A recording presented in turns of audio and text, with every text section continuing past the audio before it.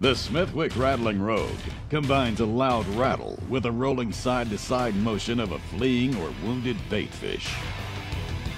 The Rogue's proven color patterns deliver vicious strikes from a variety of species.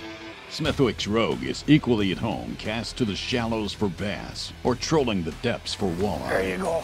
Yeah. Tie on a legendary Smithwick Rattling Rogue and start catching more and bigger fish. Look at the size of that fish.